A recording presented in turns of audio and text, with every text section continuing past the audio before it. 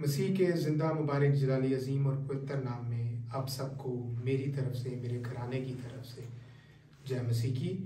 Praise the Lord सलाम कबूल हो। खुदा आप सबको बहुत बरकतें आज हम फिर हाजिर हुए हैं आपके साथ खुदावंद के कलाम को शेयर करने के लिए, जिसमें अभी हम देखेंगे रोज़ा के ताल्लुक से हम लोग देख रहे हैं। पहले दो हिस्सा जात में हम लोग देख चुके हैं कि रोज़ा क्या है। और रोज़ा की वजह क्या थी? रोज़ा कहाँ से शुरू हुआ? उसकी इब्तदा कहाँ से हुई? हमने ये देखा, उसके बाद रोज़े की इकसाम के बारे में हमने थोड़ी सी तालीम हासिल की। उसके बाद फिर हमने गौर किया कि किन मकासद के बिना पर रोज़ा रखा जाता है। लास्ट टाइम जिन एग्ज़ाम के बारे में हमने बात की, उनमें हमने देखा कि रोज़े का वक्त मुयना वक्त क्या है?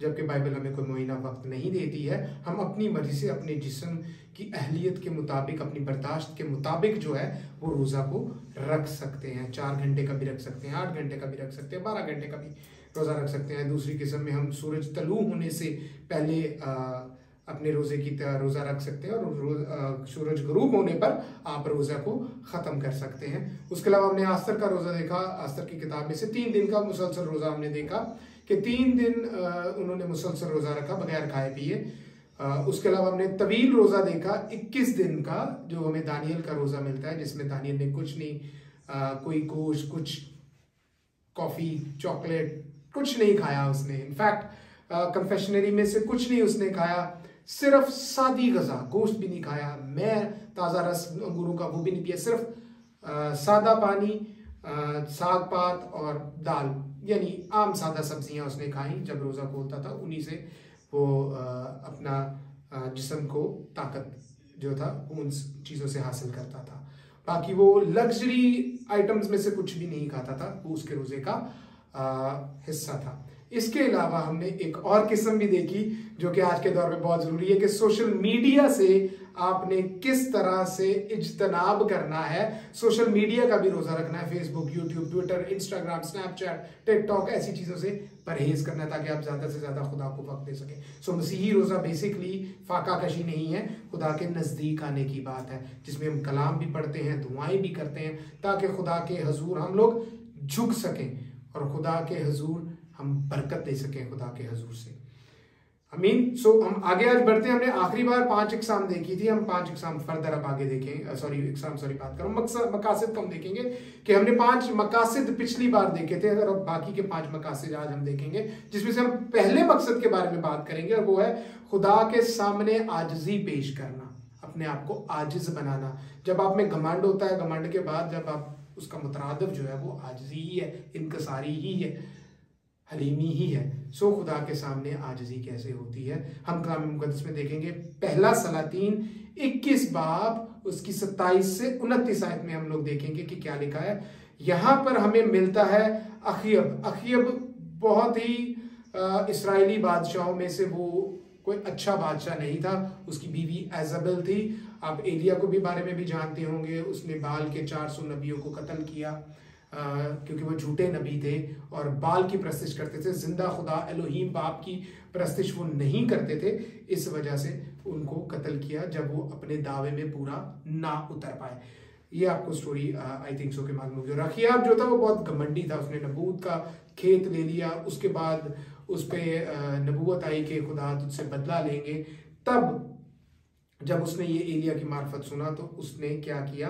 पहली सलातीन की किताब 21 बाब 27 आयत और उनतीस आयत तक में लिखा है। जब अखियब के, अखियब ने ये बातें सुनी तो अपने कपड़े फाड़े और अपने तन पर टाट डाला और रोजा रखा और टाट ही में लेटने और दबे पाँव चलने लगा।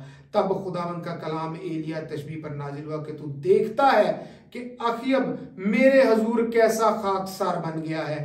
पस चौंके वो मेरे हजूर खाकसार बन गया, इसलिए मैं उसके अयाम में बला नाजिल नहीं करूँगा, बल्कि उसके बेटे के अयाम में, उसके घराने पर बला नाजिल करूँगा। सो आजजी के लिए भी हम खुदावंत के हजूर रोज़ा रख सकते हैं, ठीक है? लेकिन खुदावन जो इरादा कर लेते हैं, उसको बदलते नहीं है। ईसा की किताब में ये बाकायदा तौर पर लिखा कि खुदा अपना इरादा नहीं बदलते हैं।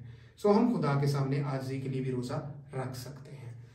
उससे आगे चले अगर हम तो खुदा के काम की फ़िक्र करने के इजहार के लिए भी हम रख सकते हैं, खुदा के काम की तशवीश के लिए भी हम लोग जो है, वो रोज़ा रख सकते हैं। अब वो कैसे है, इसको समझने के लिए थोड़ा सा हम देखेंगे। नहमिया की किताब, पहला बाब तीन से चार आयत। ये उस वक्त की बात है जब हैकल सारी मसमार है और उसको लोग जो है, वो बड़ी कसम पुरसी की ज़िंदगी गुजार रहे हैं और बड़ी मुश्किल में है और असीरी से ने असीरी में है और कोई पुरसाने हाल नहीं है।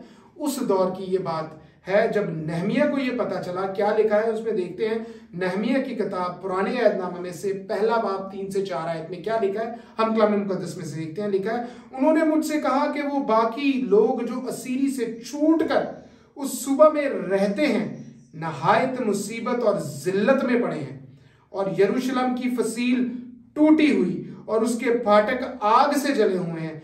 जब मैंने ये बातें सुनी तो बैठकर रोने लगा और कई दिनों तक मातम करता रहा और रोजा रखा और आसमान के खुदा के हजूर दुआ की। यरूशलेम जला हुआ है, हैकल जली हुई है, फसीलें टूटी हुई हैं, लोग बेयारो मददगार हैं। मेरे जीजो खुदा के घर की फ़िक्र करते हुए, खुदा के काम को जानने के लिए कि खुदा बाप आपका क्या हुक्म है, मेरे दिल में खुदा के घर का दर्द है। उसको मालूम करने के लिए खुदा के घर की फ़िक्र करते हुए रोजा रखा गया। और खुदा ने उसका जवाब दिया। सो हम खुदा के काम के लिए, उसकी फ़िक्र करने के लिए, उसकी तशवीश के लिए खुदा के हजूर रोजा रख सकते हैं। उसके अलावा दूसरों की ज़रूरत को पूरा करने के लिए रोजा हम अपने लिए तो रोजा रखते ही हैं। हम अपनी जरूरियात के लिए रोजा रखते हैं। हम दो चीज़ों से जरा थोड़ा सा इजतनाब करते हैं।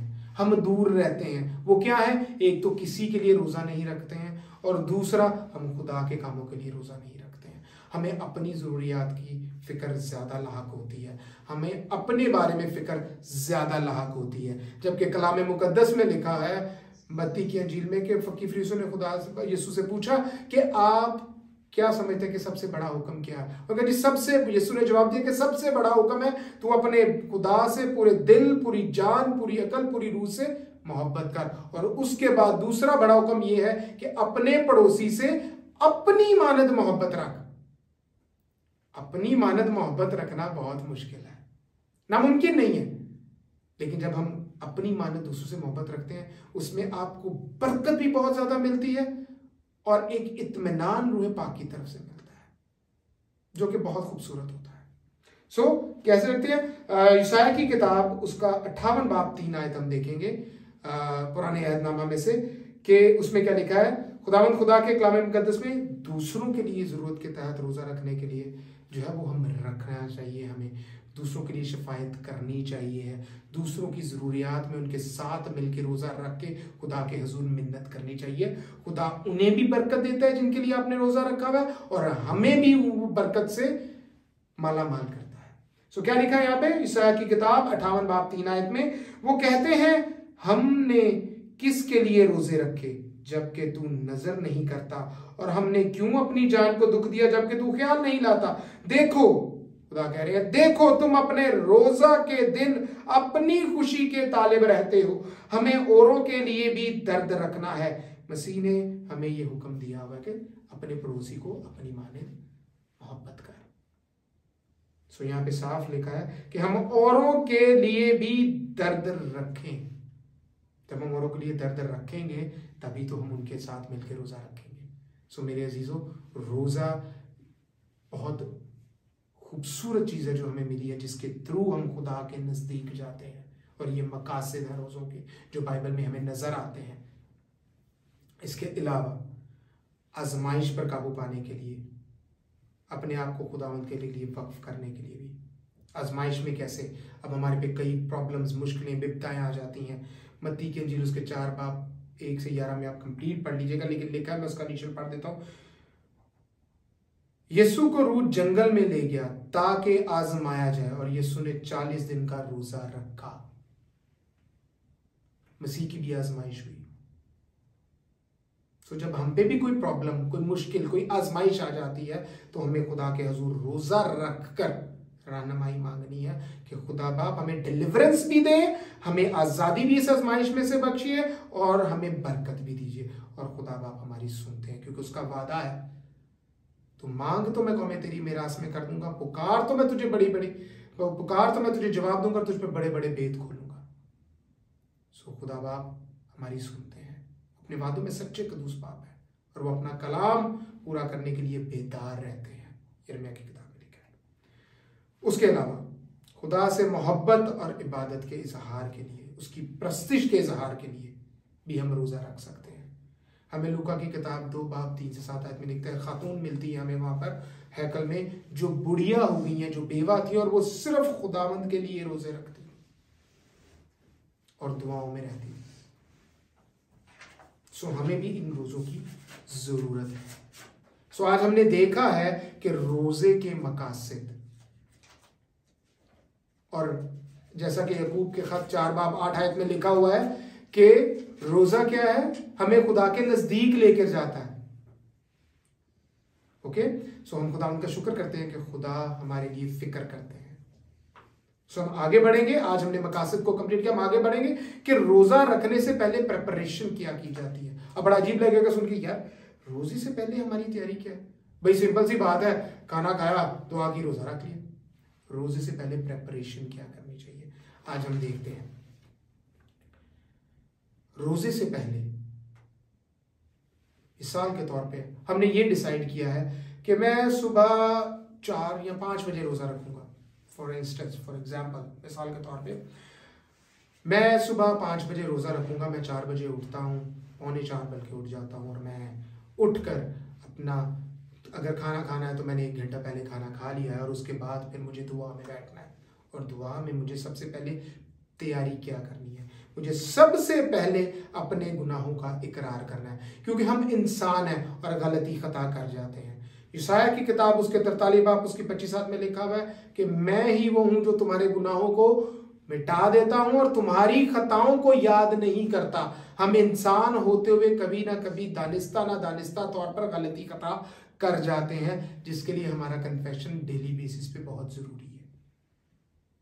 सो मेरे अजीजों खुदा हम पर रहम करते हैं। सो रोज़ा रखने से पहले हमें अपनी गलतियों, खताओं को जो हमसे हो गई हैं या दाना दानिस्ता तौर पर हमें नहीं मालूम है, हम कर जाते हैं। नॉर्मली हम लोग झूठ को बड़ी नॉर्मल चीज़ समझते हैं, धोखाधड़ी को बड़ी नॉर्मल चीज़ समझते हैं बट ये बहुत बड़े पहाड़ है। These are not small hurdles ये छोटे हर्डल्स नहीं है, ये छोटी रुकावटें नहीं है। ये बहुत बड़े पहाड़ हैं जो हमारे और खुदा के दरमियान दूरी में ले जाते हैं। तकबर कमांड लालच ये सब चीज़ें बहुत बड़े बड़े पहाड़ हैं। हमें छोटी छोटी चीज़ें लगती हैं हमारी आम ज़िंदगी में मगर ये छोटी चीज़ें नहीं है ये बहुत बड़ी हैं। सो so, इस बात का ख्याल रखिए कि दुआ में पहले सबसे पहले आपने अपने गुनाह का इकरार करना है। दुआ में उसके बाद कलाम मुकद्दस की तलावत जो है वो बहुत ज़रूरी है। कलाम मुकद्दस को पढ़ना, बगौर मुताल करना पूरे दिल और पूरी जान से और खुदा के रूह से मिन्नत करनी है कि खुदा के रूह आपको इस बात के लिए सिखाए। खुदा के रूह आपको इस बात के लिए सिखाए और खुदा के रूह सिखाते हैं। और ड्यूरिंग रोज़े के दुरानिया, रोज़े के दुरानिया में आपको इस बात का ख्याल रखना है कि आप दुआ भी करें और खुदा के कलाम मुकदस को बगौर मुताल भी करें। तीसरी अहम चीज़, अपने रोजा को खुफिया रखें। आपको अपने रोजा को खुफिया रखना लाजिम है। इसलिए खुफिया रखना लाजिम है कि खुदा को यह बात पसंद है। मत्ती की अंजील उसका छह बाप सोलह से अठारह में लिखा है, और यीशु ने कहा और जब तुम रोजा रखो तो रयाकारों की तरह अपनी सूरत उदास ना बनाओ, क्योंकि वो अपना मुँह बिगाड़ते हैं, ताकि लोग उनको रोजादार जाने। मैं तुमसे सच कहता हूँ कि वो अपना अजर पा चुके। बल्कि जब तुम रोजा रखो तो अपने सर पर तेल डाल और मुँह धो, ताकि आदमी नहीं, बल्कि तेरा बाप जो पोशीदगी में है, तुझे रोजादार जाने। इस सूरत में तेरा बाप जो पोशीदगी में देखता है तुझे बदला देगा। सो मेरे जीजो हमें रोज़ा अपना खुफिया रखना। हमें जैसे कि मैं बता चुका हूँ कि जो यहूदी थे, उनको रोज़ा रखना बड़ा पसंद था, स्पेशली सोमवार वाले दिन और जुमेरात को। मंडे को और थर्सडे को, क्योंकि उस दिन कारोबारी दिन होता था। लोग यरूशलेम में बहुत ज़्यादा कारोबार के लिए आते थे और ये लोग राख अपने माथे पे मलकर पुराने कपड़े पहनकर और मुँह बना के फिरते थे, ताकि लोग इनको रोजादार जाने, उनको पता लगे, अरे, बड़ा अलीम आदमी है, उसकी तारीफ़ करें। मगर खुदा को ऐसा रोजा पसंद नहीं है। सो अपने रोजा को खुफिया रखें, दुआ में बढ़ते चले जाएँ, कलाम मुकद्दस को पढ़ें, ताकि खुदा की कुर्बत और नजदीकी में बढ़ सके। तीसरी चीज़ अपने जिसम की तैयारी। जिसम की तैयारी से मुराद क्या है? आपने अपने जिसम की काबिलियत के मुताबिक रोजा रखना है। अब इसका मतलब ये नहीं है कि आप तीस दिन का रोजा रख रहे हैं और आपकी सेहत दिन ब दिन डाउन होती जा रही है और आप बरकत पाने की बजाय आप जिस्मानी तौर पे जो है वो गिरते चले जा रहे हैं। सो so, इसलिए इन चीज़ों का ख्याल रखिए। सो रोजा से पहले अपनी तैयारी ज़रूर कीजिए। जब आप तैयारी करके रोजा रखेंगे, खुदा भी आपके हजूर खुश होंगे खुदावंत खुदा हमारे तरतीब के खुदा है। हम इंसान हैं, हमसे गलतियाँ होती हैं, इसलिए खुदा के हजूर झुकना ज़रूरी है। सो खुदा आप सबको बरकत दें और मैं इस बात के लिए शुक्र गुजार हूँ कि खुदा ने हमें मौका दिया है कि हम खुदा के कलाम को सीखें और खुदा के कलाम में पढ़ें खुदा आप सबको बहुत बरकत दें। बहुत शुक्रिया।